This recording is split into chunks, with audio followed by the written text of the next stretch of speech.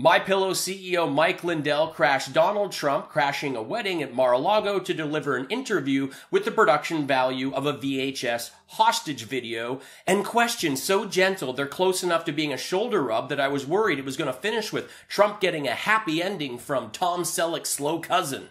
The only thing more nervous than Mike Lindell is the chair Trump is sitting on. If you listen close enough, you can hear the legs starting to give.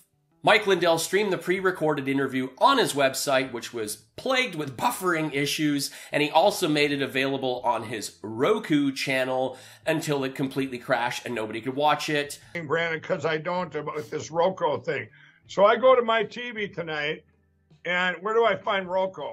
You already have a TV with Roku built in it. So I got to go buy a little Roku box. So, Choose that you want to add it to your home screen. and where do I find Roku? You know you've hit rock bottom when the lead in to your comeback interview is American Borat selling yard signs. Tonight, in about five ten minutes here, uh, well, real close, we're going to be having the uh, the interview with our real president Donald Trump. But I wanted to come in here. There's uh, these yard signs, This is not Frost Nixon, it is Slow Selleck Cheeto. and I tried to use my notes, and then I finally I just put the notes down, and we just started talking like we like we do uh, uh um in uh Like uh, a brainless, mumbling pillow salesman that used his one genie wish to sit in a hotel conference room with the worst president of all time? Historic. I assure you, this does not have great and lasting importance. I didn't make those. Th- those look like uh, something out of a sketch or something funny. That's them. That's their production. This is what you get from the biggest broadcasting place ever. You have a gift of problem, solution, and what it would manifest to. And I think that that's, uh, you know, that's why I thought that you'd be the best president ever when I left that office. And Problem, crowd size. Solution, get Sean Spicer to yell at people. Problem, Vietnam War. Solution, fake bone spurs. Problem, path of Hurricane Dorian. Solution, Sharpie. Problem, Stormy Daniels. Solution, lie, deny, payout. Problem, Taj Mahal. Solution, bankruptcy. Problem, lost the election. Solution, pretend you won. what does give you the emotional th- strength to handle it all? Ignorance, Adderall, and steroids. Well, you know, it's interesting you mention people because I've had some disloyal people, and we always do through life. Mike asks Trump about emotional strength, and Trump answers with, Well, you mentioned people. Trump goes on to ramble about loyalty for a long time before Mike gets him to circle back.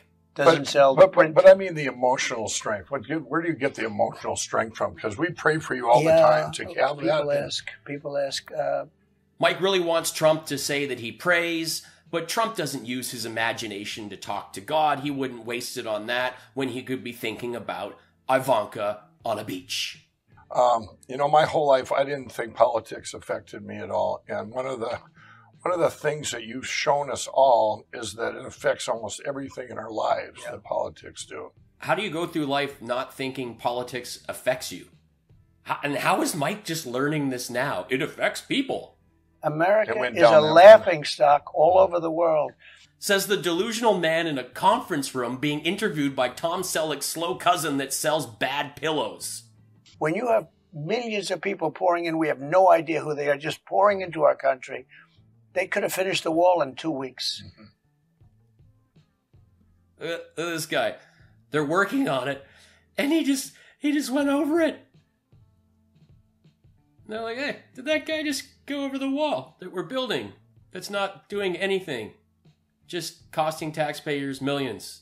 Mexico did not pay for any of that. But I want to ask you a question that you probably haven't been asked, and that's was was running is running the country was it was, was it what you expected it to be, or was it like when you were running your business? That came out as smooth as the Egyptian cotton sheets Mike says are made in America. Trump never answers the question, he just continues to ramble. I thought everyone was saying socialism's coming. We've skipped right over it to communism. Yeah. You know, I, I really agree with that. If you look at the press, the radical, Mm-hmm. the, it's become a radicalized press, but we don't have freedom of the press anymore. Trump declared press the enemy, took away press passes, tried to get journalists banned from the White House.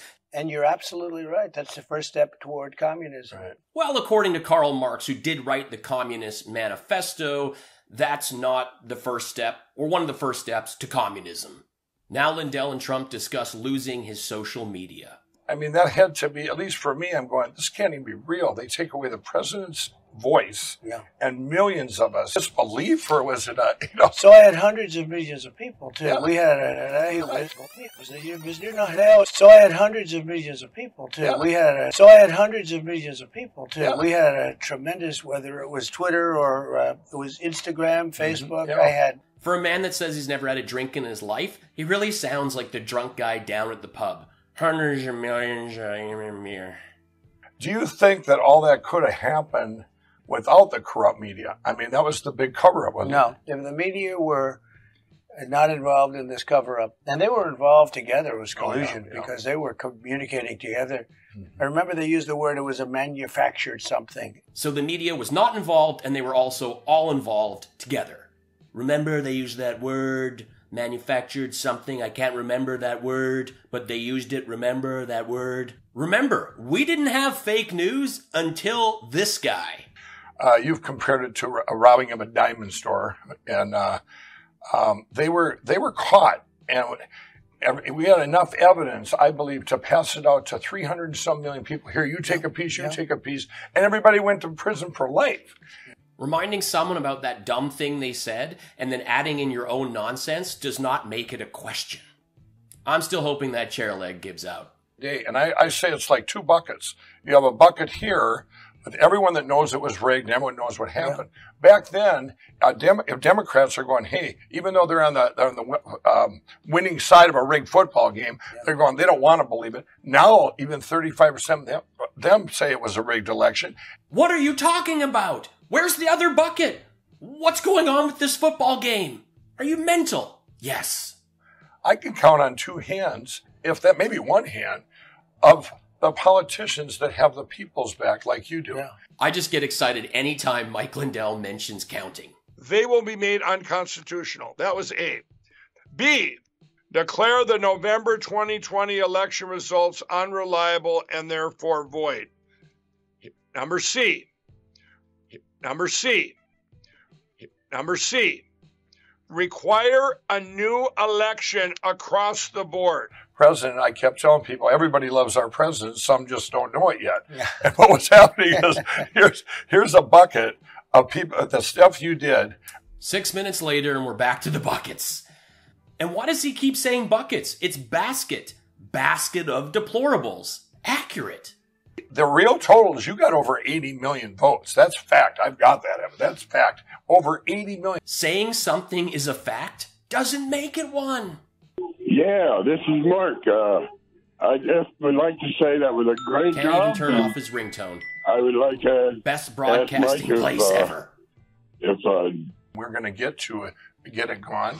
We're gonna, Michael- I've said we're going to melt down the machines and use them Yeah. into prison bars. It's very interesting. it's a very good idea. You know, Gonna be pretty funny when Trump ends up in jail and he's sitting there one day and he's like, "Wait, uh, I want to tell you something. The bars, they're they're not iron, they're not lead, and it's not because I'm a builder. It's because uh, Mike Lindell he took the voting machines and they're plastic and they're microchips and he melted them down, and that's what the bars are made of. It's a trick. You just gotta you just gotta punch them and they'll break and we'll all be free. had the uh, cyber symposium getting a little ahead here, but when I had that afterwards, nobody won the five million dollar prize because it was all evidence from the 2020 election. Bucket of unicorn wank. And on inauguration day, and on inauguration day, Good old inauguration day. you're Well, a great I'll- patriot. I will say this: what I've learned, it's. What's that? Yep, yep, yep. No. Why don't you edit this out? These are the things you edit out. I mean, you are the biggest broadcasting place ever. You have software. You could edit this out. You know, you're going to lose Texas at some point, most- the and most you didn't really lose it. Right. The most votes were California number one, stole, and Yeah. Texas number two, Florida number three. I like that he said stole in front of Trump because he planted that in his brain. And you know, Trump soon will be saying, the election, the election was stoled. It was stolen. Everybody knows it. It was stoled. And I, I want to thank you, as millions do, for being the greatest president we've ever had. Well, thank you. and uh, Mike. we appreciate you it's so really much. an honor, and Was that awesome or what? Thank you all for watching. Was that awesome or what? No, no, it wasn't. All of these things go back to they stole our country in a cyber attack. MAGA tears. M for Trump reinstatement by Thanksgiving. MAGA tears. If you watch this guy, you have no Brian. MAGA tears. I hit play on this video only because Mike's name was in the title, but now I see what this channel is all about. MAGA tears. Thanks for watching. Please like, comment, subscribe, and check me out on Spotify. I've played in 35 countries. I've done several theater and arena tours with Jim Jefferies. I have three albums there. You can stream them for free. That's a pretty sweet deal. Also, you can support the show by checking out my merchandise. You can grab an ABD, a Stoled, or a channel mug. They go fantastic with those MAGA tears. If you want to have a friend roasted or congratulated, I do personal videos on Cameo. Thanks again for watching. Life's short. Have fun, be cool, be kind, take care.